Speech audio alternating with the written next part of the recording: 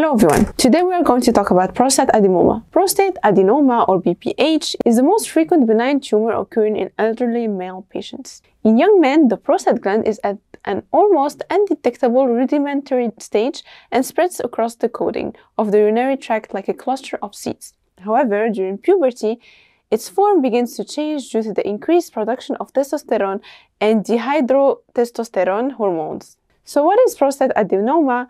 What are its symptoms? How can it be diagnosed? And also, what are the available treatment for it? So, our role today is to answer most of your questions regarding prostate adenoma. Today, we have Dr. Park, who is a leading doctor at Hanyang University Hospital. He's going to discuss with us everything about prostate adenoma from an experienced medical point of view. Hi, Umi. Before we start, please subscribe to our channel so the next time you'll be updated with our new releases.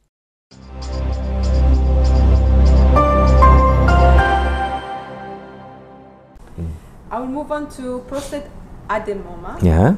So, what is prostate adenoma and what are the symptoms of hmm. prostate? As I mentioned earlier, the prostate is wrapped around the path of urine.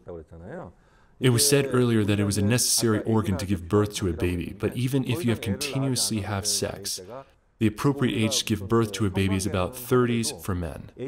Of course, even in their 40s and 50s, they can give birth to babies, but naturally or biologically, after that age, there is no need to give birth. So from then on, men start aging. They gradually age so they don't feel it, but the prostate is no longer needed from now on. So it gets bigger and bigger. Then, as the path of urine increases in size, it keeps interfering with the flow of urine preventing it from coming out with good pressure. And because it doesn't come out comfortably, you have to give it pressure. And even afterwards, some of it remains inside. So there are various symptoms of irritation when urinating. And the prostate adenoma grows and presses there. The enlargement itself irritates the bladder which can cause irritation symptoms such as frequent or urgency to urinate. One of the most difficult symptoms for patients is having to wake up during the night because of the urine. When you get older, it's very difficult. So these are the main symptoms of this prostate adenoma. So, just like uh, cancer, does the adenoma also have stages or levels? And what kind of treatment every stage? We don't usually divide it into stage 1, 2, 3, 4, like cancer, but symptoms or size can be divided into moderate and severe.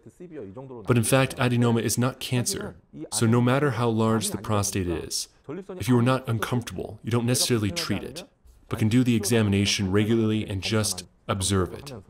But in the end, the prostate grows, and symptoms will appear someday. So, for example, the normal size when you're young, in your 20s, is about the size of a walnut egg. The size of a walnut egg itself is about 20 grams, but it exceeds about 30 grams. It is expressed that the prostate is enlarged.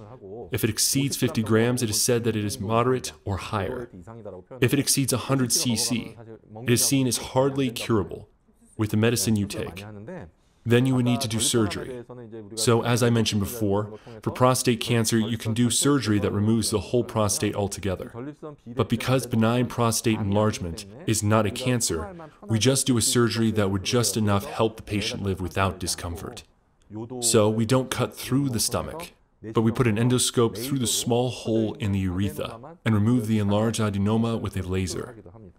So, what kind of examination are out there to know if it's an adenoma uh, or not? So, are there any examinations out there to know whether it's an adenoma or not?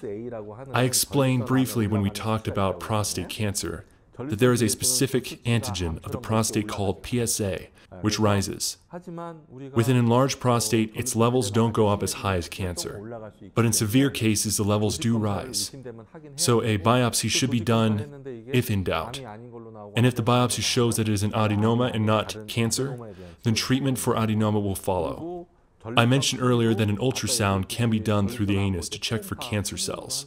This can also be used when measuring the size of the prostate instead of using an MRI, which is unnecessary.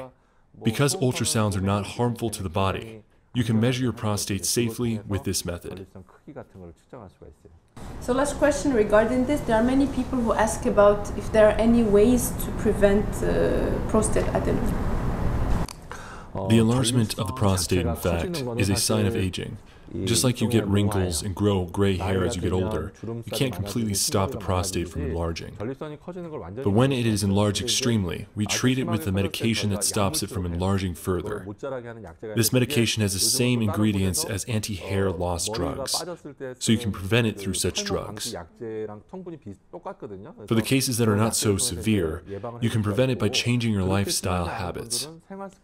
The most representatively known thing is saw palmetto. This is an herbal ingredient which comes from the roots of trees that American Indians used to eat in the old days. Although it is not a type of medicine, saw palmetto is known to help prevent prostate adenoma but not cancer, and this is, of course, only for men.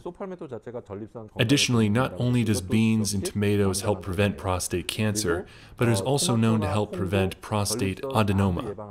Just because the prostate is enlarged severely, it doesn't lead to prostate cancer.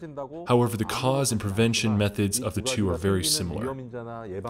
A lot of people are mistaken to think that severe prostate adenoma automatically leads to prostate cancer, but that's not true. The age that you would get either one is what is similar, but they are not related in any way otherwise. But the prevention methods are alike.